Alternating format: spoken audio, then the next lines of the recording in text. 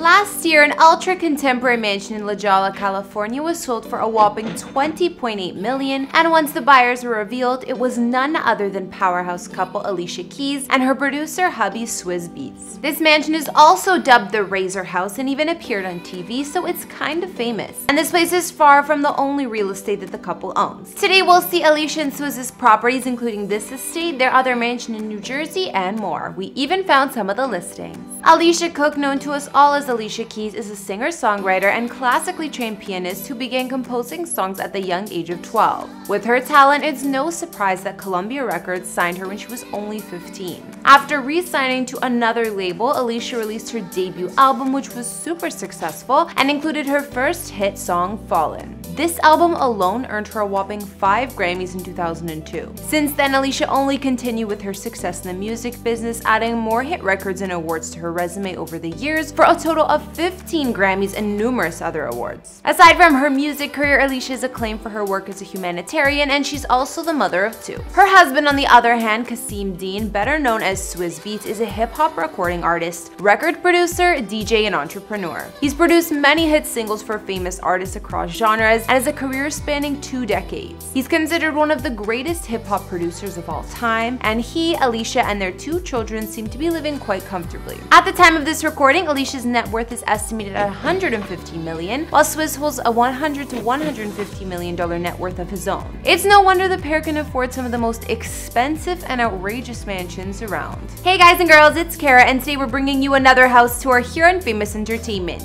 You guys requested this one, so we'll be taking a look at where award-winning musician Alicia Keys and her man Swizz Beatz call home, including the famous Razor House mansion they bought in San Diego, their New Jersey estate, and more. If you like these videos, make sure you're subscribed and ring that bell to be notified when we post so you can always be up to date. We've also done house tours on the likes of Kelly Rowland and other famous couples like Gwen Stefani and Blake Shelton, and we'll link to some at the end. Follow me over on Instagram to chat, and as usual, let me know whose house tour is next in those comments down below. Now let's get into this video.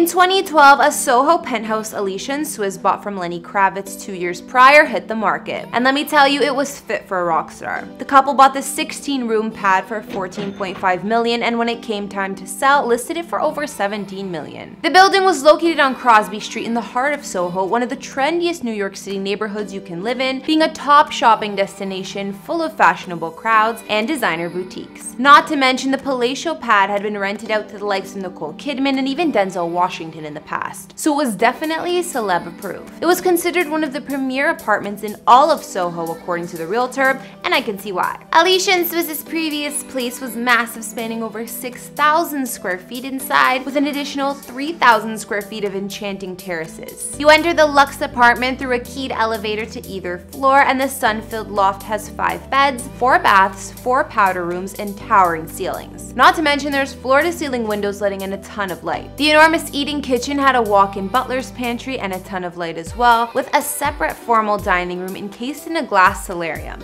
That might just be the nicest dining room I've ever seen. There is also an expansive living room with marble fireplace, library and media room, wine cellar, and state-of-the-art sound system throughout. Near the Ducati motorcycle and some other artwork, you'll find the floating staircase leading to the upper level. The separate private master suite Alicia and Swizz previously occupied had a spa-style ensuite and you walk through a large dressing area and a private terrace to get here. The main terrace wrapped around the perimeter of the penthouse, offering views of the New York City skyline and more. There are plenty of spaces to lounge whether outside on the patio or even inside the games room with pool table. Of course, the lavish penthouse was decked out with the best security systems too, just to be safe. Although the musical couple were living the empire state of mind here, they decided to move into a more suburban choice, which brings us to the New Jersey mansion. Around 2012, the power couple bought this celeb pedigreed 32-room mega mansion from none other than Eddie Murphy. Located in Englewood, New Jersey, they opted for a more suburban vibe than in the heart of New York City.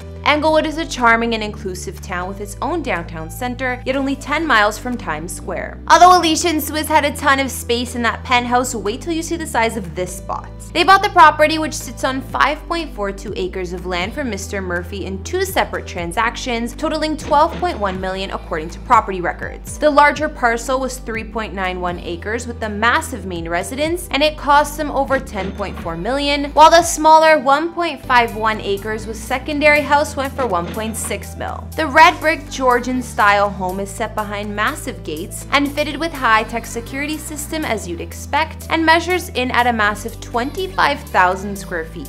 There are 8 beds, 10 full baths, and 4 half baths throughout. Comparing listing photos from time of purchase to the more recent pics, it appears Alicia and Swizz brought in designers who carried out a similar design to the former New York penthouse. Think moody fabrics, flashy chandeliers, and portrait-type artwork. The entrance opens up to smooth white marble and looks super fresh. The couple's contemporary art collection also starts here. Before walking in, there's a guardhouse at the main gates and a sweeping driveway with roomy motor court. There's another motorcycle parked in here, similar to the last place, so I guess it's a design feature they like. The formal living room has plenty of seating space and two sparkling chandeliers, while the dining room has two black fixtures hanging above the long table. I personally love the vibe in this room. There's also another hangout room or den slash library with fireplace and mounted TV, as well as an eat-in kitchen with a massive island and even space to run around if one chooses. French doors lead to an all-glass winter garden dining space or sunroom, also fitted with a gorgeous chandelier. Moving upstairs, there are multiple bedrooms, including one with sloped ceilings and a cozy vibe. The master suite Alicia and Swizz shared here is supersized, including a sitting room furnished for seven or more people. But I don't know why you'd want that crowd hanging out in your bedroom. There's also a fireplace here, lavish bathroom, and walk-in closets or dressing rooms. Other amenities at the sprawling New Jersey property include two elevators, one for each the north and south wings, a movie theater, two-lane bowling alley, professional-grade recording studio perfect for Swizz and Alicia, and a dramatic art gallery wing that was newly added, complete with soaring ceilings.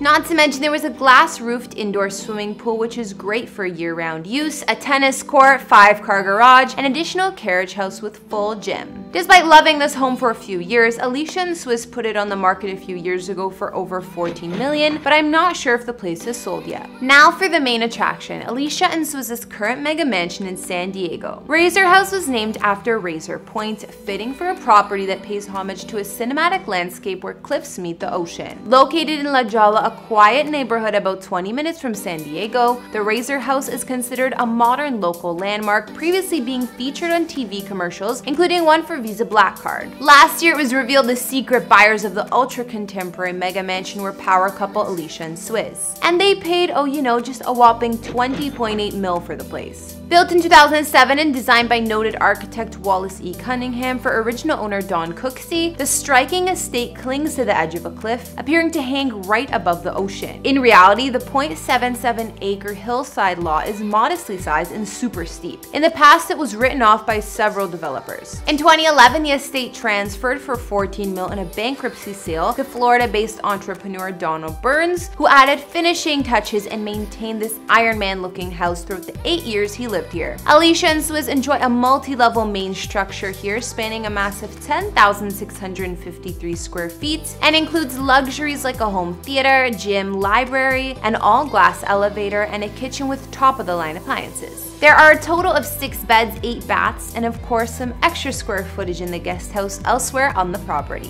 White concrete, stainless steel, and glass are used in the cantilever design of the modern mega mansion, and as you might expect, Alicia and Swizz get amazing panoramic views of the ocean and surroundings. There's also a circular living room and other spaces to hang out and take in the views. Not to mention this spacious master suite looks like it's floating from being enclosed in glass, even in the attached bath. In fact, nearly every wall in their home is glass while the floors are mostly stone. Outside there are endless concrete terraces, one space with a fire pit, and elsewhere a rooftop entertaining space with outdoor kitchen and spa. An extra long infinity pool hangs over the cliff's edge, giving quite the experience and photo op. The property first listed listed in 2018 for 30 million, so for just over 20 mil, I guess Alicia and Swizz got a deal on the mega mansion. So I think I'll wrap up this house tour here. We've gotten a look at where Alicia Keys and her hubby Swizz Beatz call home, like the jaw-dropping glass mansion they live in California, their New Jersey estate, and more. After seeing all those huge properties, what did you think? Which was your fave? As much as I love the amazing views and being right on the ocean, the Razor house is a bit too modern for my taste. If I had a choice, which I don't because I can't afford any, I would pick the house in Englewood. Be sure to let me know your choice down in the comments. I also recently launched a personal channels if you want to get to know me better, watch my latest vid, and subscribe because I appreciate all the support. Thanks for tuning in. Don't forget to follow me on Instagram and let me know whose house tour is next. I'll see you all in the next one. Bye!